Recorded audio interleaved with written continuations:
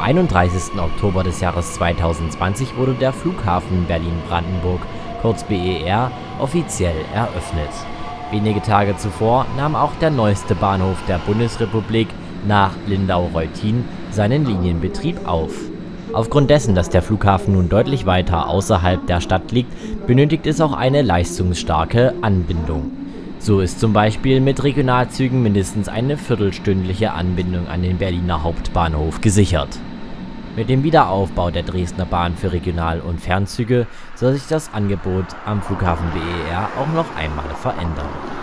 Da der Bahnhof unter dem Terminalgebäude des Flughafens liegt, ist er als Tunnelstation ausgeführt und trägt den vollständigen Namen Flughafen BER Terminal 1 bis 2. Der Bahnhof ist als Durchgangsbahnhof konzipiert worden, somit ist für Regionalzüge zumindest von Osten als auch von Westen eine Anfahrt möglich. Für die S-Bahn ist die Anfahrt nur aus einer Richtung möglich.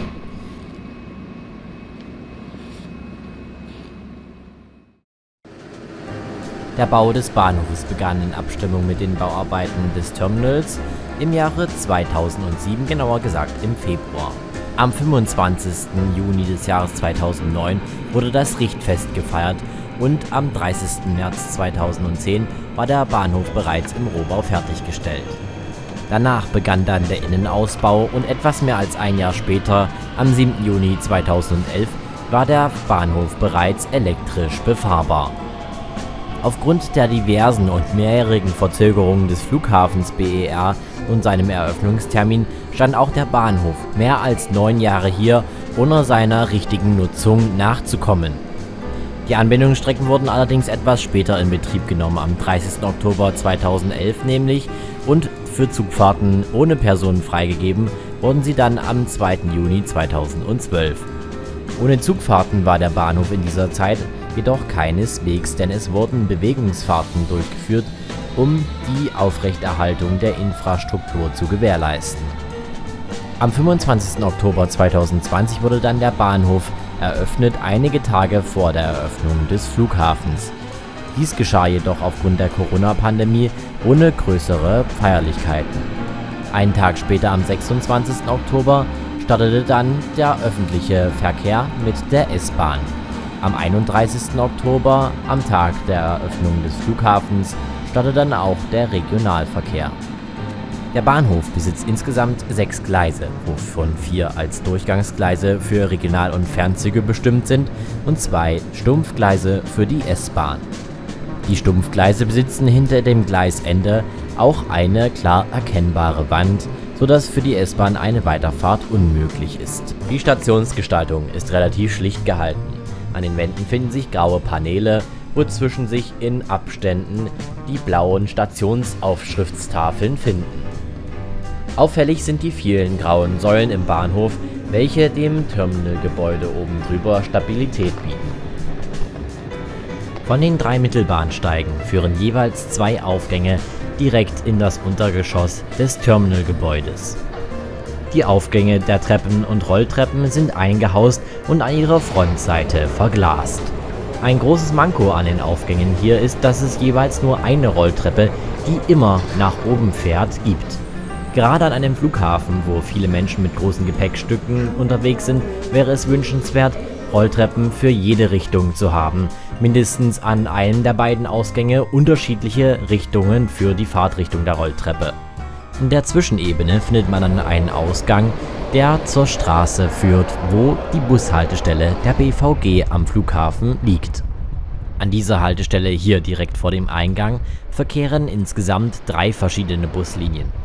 An weiteren Bushaltestellen verkehren unter anderem auch noch Buslinien in Richtung Potsdam und in die Region des Flughafens.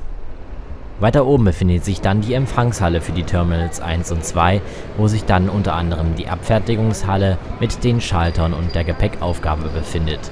Durch die vielen Holzvertäfelungen und die hohe Decke hat die Empfangshalle ein recht edles Auftreten.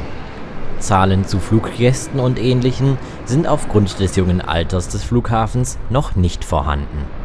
Kehren wir nun zurück in den Bahnhof und somit auf die Bahnsteigsgleise 1 bis 4, welche die Durchgangsgleise sind, um uns den Regional- und Fernverkehr, welcher am Bahnhof hält, anzuschauen. Schauen wir als erstes auf die einzige Fernverkehrslinie, welche am Flughafen hält. Diese ist die durchgehende Intercity-Linie von Dresden Hauptbahnhof nach Rostock Hauptbahnhof bzw. nach Warnemünde. Diese Linie wird mit dem jüngst hinzugekommenen Zugtypen in der Flotte von DB Fernverkehr betrieben. Dies sind Elektrotriebwagen von Stadler mit dem Namen KISS, welche in vierteiliger Ausführung unterwegs sind und von der österreichischen Westbahn übernommen wurden. Zum Dresdner Hauptbahnhof ist man mit diesem Zug in einer Stunde und 39 gelangt.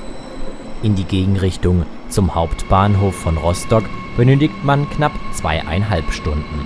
Am Berliner Hauptbahnhof ist man nach 33 Minuten. Diese Linie besitzt allerdings eine Besonderheit, denn zwischen Elsterwerda und Berlin Hauptbahnhof ist der Zug ebenfalls als Regionalexpress unterwegs. Hier ist es nicht so wie bei anderen Fernzuglinien in Deutschland, wo auch ein Regionalverkehrsfahrschein anerkannt wird, sondern es wurde für die Relation eine extra Liniennummer im Regionalverkehr, nämlich RE17, angelegt. Somit sind in einem einzigen Triebzug zwei unterschiedliche Zuglinien unterwegs.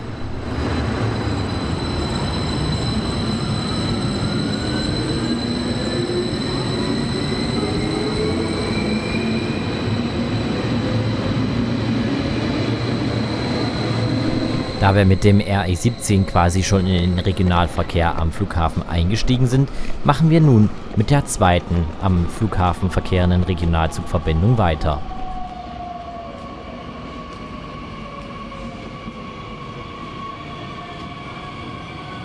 Der RE7 verbindet mit Triebzügen des Typs Talent 2 den Hauptbahnhof von Dessau mit Wünsdorf-Waldstadt. Dabei verkehrt er je Richtung stündlich. Auf dem zweieinviertelstündlichen Weg nach Dessau legt der Zug unter anderem noch Halt in Berlin-Ostkreuz, Friedrichstraße und Hauptbahnhof ein, sowie in Potsdam-Babelsberg, Michendorf, Belitz-Heilstätten und Bad Belzig. In der Gegenrichtung in Wünsdorf-Waldstadt ist man hingegen recht schnell in nur knapp 30 Minuten Fahrzeit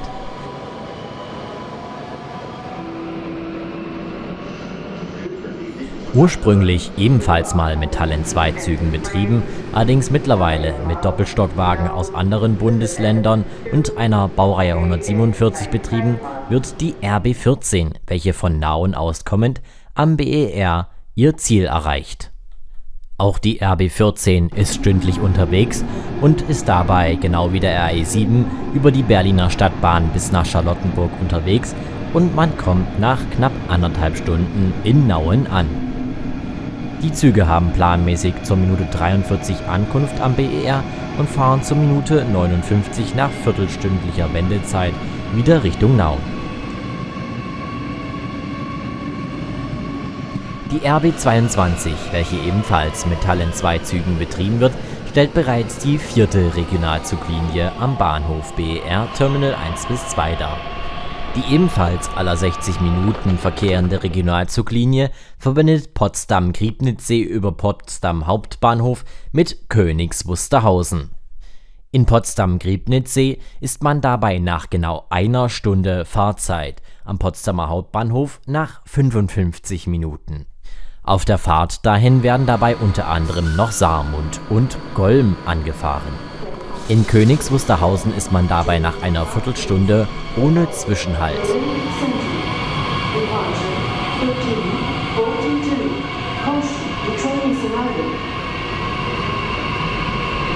Als letzte Regionalzuglinie wurde zur Eröffnung des BER der neue FEX, der Flughafenexpress, eingeführt. Dieser verdichtet dabei das Angebot von RB14 und RE7 zwischen dem Berliner Hauptbahnhof und dem Flughafen auf einen Viertelstundentakt. Genau wie bei der RB14 werden auch beim FEX Doppelstockwagen mit einer Baureihe 147 eingesetzt. Die Doppelstockwagen wurden dabei allerdings für den FEX-Einsatz noch einmal generalmodernisiert und in ein anderes Erscheinungsbild überführt als die Doppelstockwagen auf der RB14 und kommen dabei sehr modern daher. Der FEX verbindet dabei ausschließlich den Berliner Hauptbahnhof mit dem Flughafen und hält dabei noch in Gesundbrunnen und am Ostkreuz, besitzt somit insgesamt nur vier Stationen. Somit verkehren am Flughafen insgesamt fünf Regionalzuglinie, falls man den RE17 als vollständige Regionalzuglinie dazu wertet. Zum Fahrplanwechsel im Dezember 2022 und 2025 soll sich das Angebot aller Voraussicht nach dann noch einmal deutlich verändern. Aufgrund der Veränderung des Betriebskonzepts in diesem Bereich müssen dann aller Voraussicht nach aufgrund fehlender Wendemöglichkeit von Osten kommend einige Regionalzuglinien am BER Terminal 5 enden.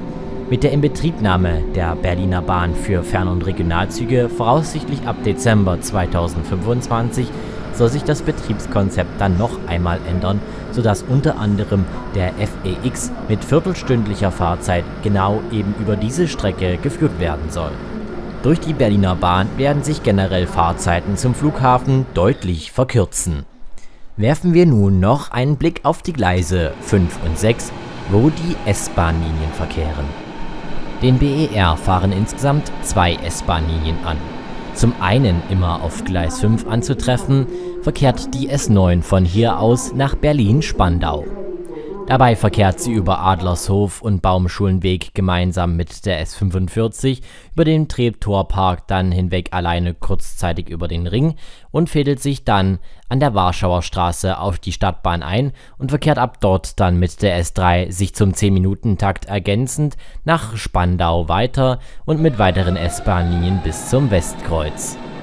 Die Fahrt nach Spandau beträgt mit der S-Bahn eine Stunde und 18 Minuten. Die S9 verkehrt dabei an sich aller 20 Minuten.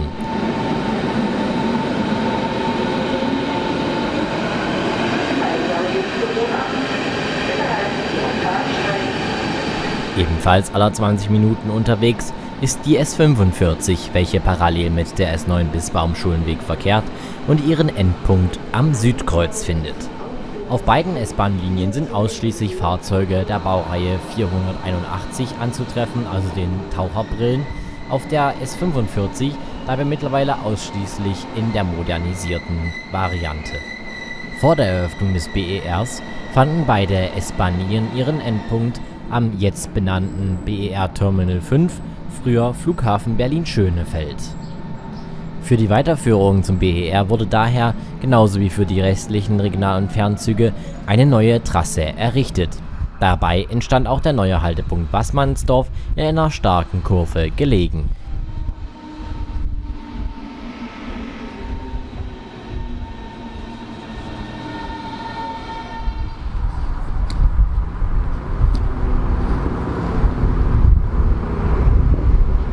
Bahnsteiggleise der S-Bahn sind hierbei mit einer Länge von nur 152,5 deutlich kürzer als die der Regionalbahn und Fernbahn mit 405 Metern Länge.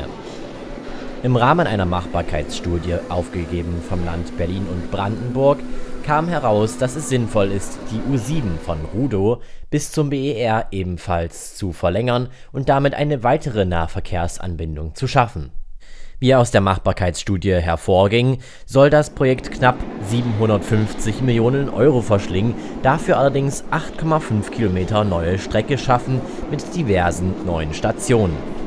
Beschlossen ist der Bau offiziell noch nicht und auch ein Zeitplan liegt aktuell nicht vor. Aber auch Kritik regt sich, da der Flughafen bereits gut angebunden ist und auch von Rudo bereits Busse zum Flughafen verkehren und ein U-Bahn-Bau viele Tonnen CO2 ausstoßen würde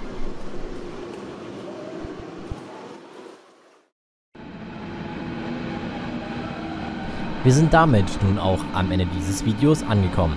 Ich danke euch natürlich wie immer ganz recht herzlich fürs Zuschauen und würde mich daher auch wie immer über einen Daumen nach oben und einen Kommentar unter diesem Video freuen, wenn es euch gefallen hat. Wir sehen uns dann beim nächsten Video wieder. Vielen Dank nochmal fürs Zuschauen und bis dahin, tschüss.